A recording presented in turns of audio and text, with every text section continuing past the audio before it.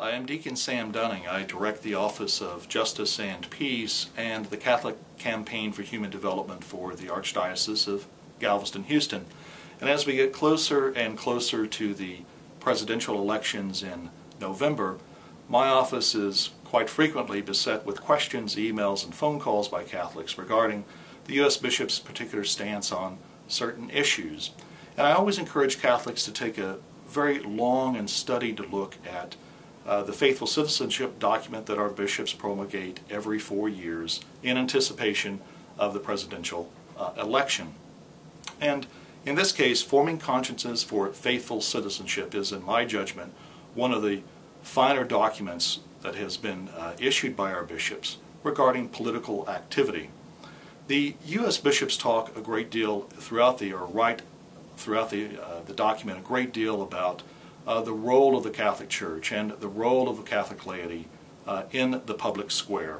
In one of their wonderful lines, they tell us that citizenship is a virtue, but participation in the political process is a moral obligation.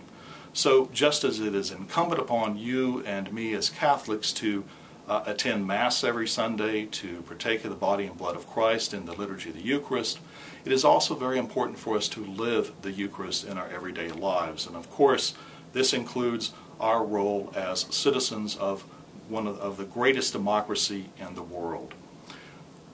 What do the bishops say about political participation?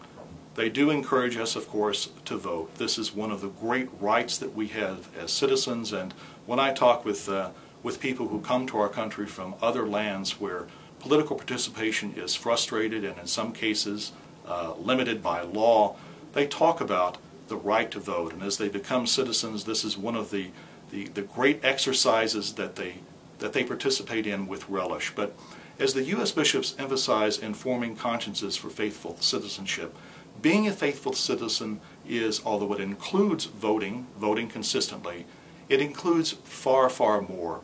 And whether it's uh, participating in a political campaign, whether it's contributing to a political party, uh, all of the, these also are included in acts of faithful citizenship, but also engaging at the community level, helping to transform our neighborhoods through uh, community organizing projects or economic development projects.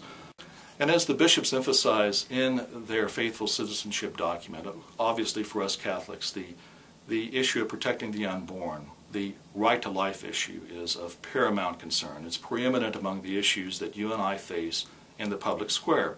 But they also remind us that in addition to protecting the unborn, the right to life issue, from it flows a number of other rights uh, that, they, that they tell us that we are obligated as Catholics to consider as well in deciding for whom we should vote and what political party we should support what political movement we should engage in.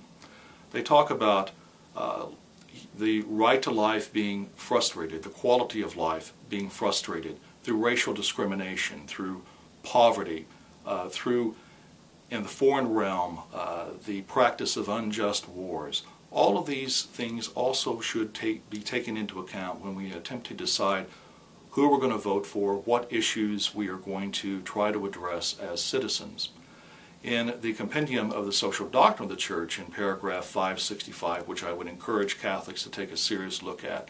The, uh, the Vatican goes through a number of criteria that we as Catholics are obligated, their language, obligated to take into account in our decisions.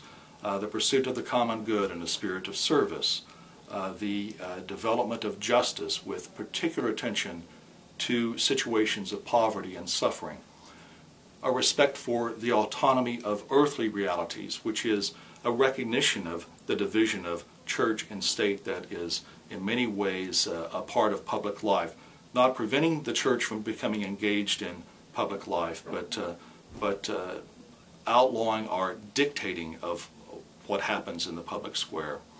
Also, the principle of subsidiarity, which encourages us to become involved at the very local level and encouraging helping the poor to help themselves break out of the cycle of poverty.